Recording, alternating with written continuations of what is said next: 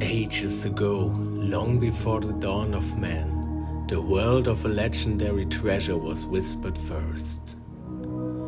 When Sigurd overwhelmed the dwarfs, he laid eyes upon riches never seen before, and thus the greed of man was born.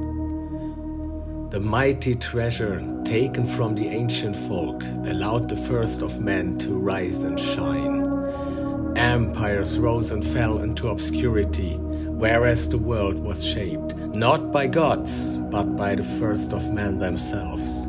Sailors, warriors, conquerors, and thus the new age was born. But where great power sheds its light, the shadows dwell and hide the always watching enemy, treason.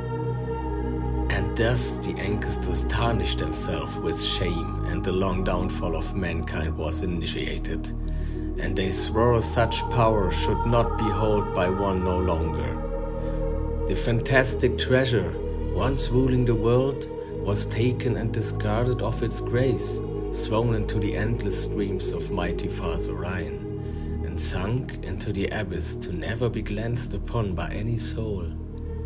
But some of us, tainted by faith and searching like yourself, can hear its song, lingering from the depths unknown. Heed their call, for once you will find only despair, cause the Rhine never gave away its sword. Cursed you are already.